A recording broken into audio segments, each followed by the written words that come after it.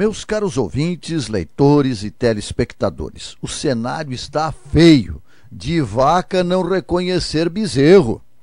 A promotoria da Espanha pediu dois anos de prisão e multa de 36 milhões ao jogador Neymar. Ele é acusado de fraude em sua transferência para o Barcelona em 2013. A ação partiu do fundo de investimento DIS, que tinha 40% dos direitos do craque.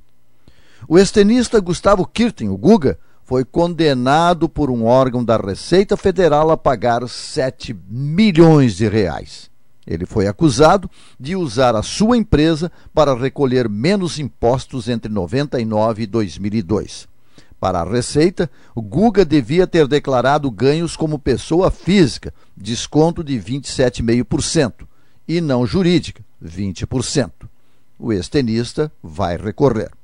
O Supremo Tribunal Federal autorizou a abertura do oitavo inquérito sobre o líder do governo no Senado, Romero Jucá. Desta vez, relacionado à Operação Zelotes. Jucá também é investigado na Lava Jato e em inquérito sobre fraudes em Belo Monte. E 78 executivos da empreiteira Odebrecht começaram a assinar acordos de delação premiada com o Ministério Público Federal. Investigada na Lava Jato, a Odebrecht é suspeita de pagar propina a políticos de vários partidos. Até 200 podem ser atingidos pela delação e o Tribunal de Contas da União decidiu abrir uma investigação para apurar indícios de fraude no Fundo de Financiamento Estudantil, o FIES.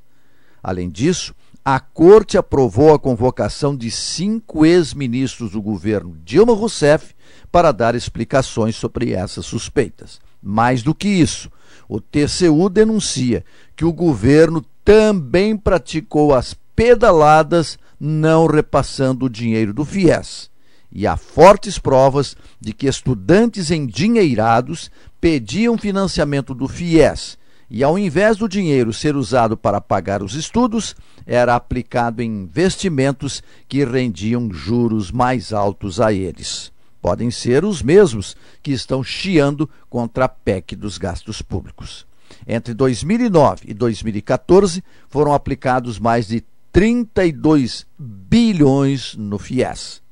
Mais vergonhoso ainda é que não só estudantes estavam lucrando com o FIES. O TCU apurou o lucro líquido de pelo menos quatro grupos educacionais.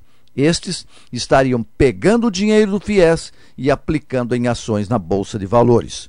O documento não cita o nome dos grupos, mas diz que um deles aumentou seu lucro em 22.130% de 2009 a 2015. E para finalizar, duas notas que podem trazer algum alento em meio a tanta sujeira. A presidente do Supremo Tribunal Federal, ministra Carmen Lúcia, marcou para o dia 1 de dezembro, portanto, semana que vem, o julgamento da denúncia da Procuradoria-Geral da República contra o presidente do Senado, Renan Calheiros.